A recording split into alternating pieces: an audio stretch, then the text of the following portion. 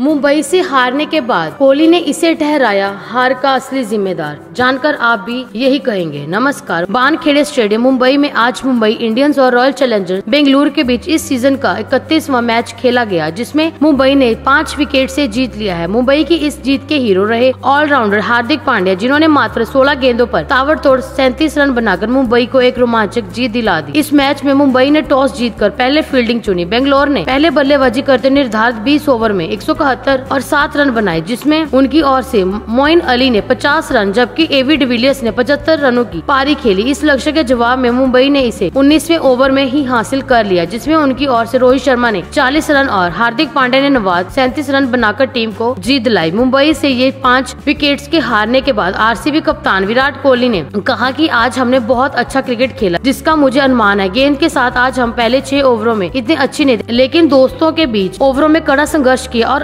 वापसी भी की। विराट कोहली ने कहा कि अंत में हमें बाएँ हाथ के स्पिनर, दो दाहिने हाथ के बल्लेबाजों के साथ जोखिम उठाना पड़ा, जो इस हार की असली वजह बना। आज हमें बल्लेबाजों को विशेष रूप से इस पिच पर और के साथ गति देना जोखिम भरा था, जो दुर्भाग्य से बंद नहीं हुआ। कोहली ने कहा कि आज मोइन अली शानदार थे, गेंद को अच्छी तरह से प्रहार कर रहे थे और बहुत दिल से गेंदबाजी भी कर रहे थे। एक वरिष्ठ खिलाड़ी के रूप में उनको ज़िम्मेदारी लेते देखना अच्छा लगता है, वही सभी श्रेय के हकदार भी हैं। बस इसे खुद का आनंद लेना है। पिछले दो मैचों में हमने जिस तरह के दबाव में अच्छी तरह से खेला है, बस आगे के मैचों में बरकरार रखने की ज़रूरत है। दोस्तों, अगर आपको हमारी ये जानकारी अच्छी लगी तो कमेंट करके बताएँ। लाइक और शेयर ज़रूर कीजिए। और आगे भी ऐसी खबरें देखने के लिए हमारे चैनल को सब्सक्राइब करना ना भूलिए, क्योंकि हम हर रोज ऐसी खबरें आपके लिए लाते रहते हैं। धन्यवाद।